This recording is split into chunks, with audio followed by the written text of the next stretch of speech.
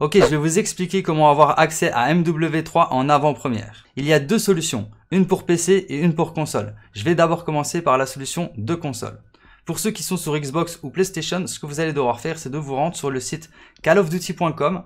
Quand vous êtes sur ce site, vous allez devoir vous connecter. Ensuite, vous allez cliquer sur Informations de base. Quand vous êtes dans votre profil, vous allez devoir modifier l'adresse. Donc vous cliquez sur Modifier et là vous allez sélectionner Lieu Nouvelle-Zélande. Ensuite, vous allez devoir vous rendre sur le site que je mettrai en description en commentaire épinglé. Sur ce site, vous allez pouvoir générer des adresses random de Nouvelle-Zélande. Donc ici dans Country, vous sélectionnez bien Nouvelle-Zélande, vous faites Générer et là vous allez avoir plusieurs adresses. Donc quand vous avez cette adresse, vous allez copier tout simplement le street, donc la, la rue. Ensuite, vous allez copier la ville donc city, et vous allez la copier dans la ville. Ensuite là, vous faites modifier.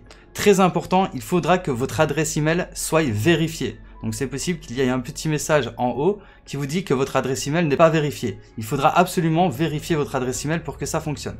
Ensuite, quand vous aurez modifié votre adresse en une adresse Nouvelle-Zélande, vous aurez juste à relancer votre console pour pouvoir accéder à MW3 en avance. Alors maintenant, pour ceux qui sont sur PC, cette solution ne fonctionne pas. J'ai essayé, mais le problème, c'est que vous lancez MW3 avec votre compte Blizzard. Et votre compte Blizzard, vous ne pouvez pas changer le lieu sauf en contactant l'assistance. Donc c'est complètement impossible. En tous les cas, j'ai pas trouvé de solution. Si vous en avez trouvé une, n'hésitez pas à le dire en commentaire. Mais il existe quand même une autre solution pour que vous puissiez accéder au mode multijoueur de MW3. Pour ce faire, il vous faudra obligatoirement un ami qui joue sur PlayStation. Alors je ne sais pas si ça fonctionne sur Xbox, n'hésitez pas à me le dire en commentaire. Et si vous cherchez des joueurs sur PlayStation, n'hésitez pas à rejoindre le Discord qui sera en description et en commentaire épinglé. Si vous avez un ami sur PlayStation, vous lui demandez de vous inviter quand il est dans le lobby du multijoueur. À ce moment-là, vous acceptez l'invitation, vous allez tout simplement rejoindre votre pote, et là le joueur qui est sur PlayStation a plus qu'à lancer la partie et vous allez pouvoir y jouer.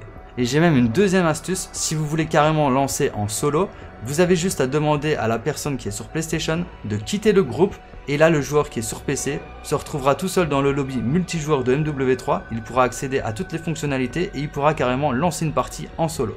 Donc voilà, si vous avez d'autres solutions pour accéder en avant-première à MW3, n'hésitez pas à le dire en commentaire. Et pour ceux qui veulent savoir quand sera disponible MW3 sur console, ce sera à partir de minuit aujourd'hui. Et sur PC, ce sera à partir de 6h du matin demain.